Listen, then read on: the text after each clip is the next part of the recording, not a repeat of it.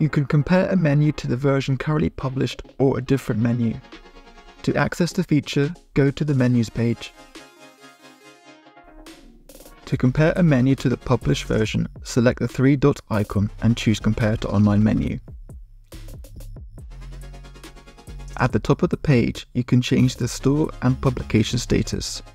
Select the Switch button to swap the menus. Select the Show Changes Only checkbox to hide the identical items and categories on both menus.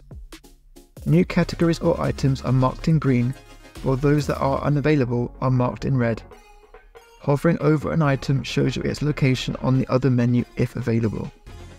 Selecting the item shows you its full details on both menus. You can also compare two different menus by selecting their checkboxes and then choosing Compare.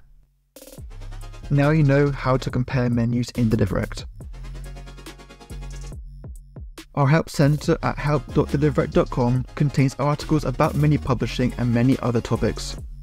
If you need assistance, reach out to our support team by logging into Deliverect and selecting the chat icon at the bottom right of the window.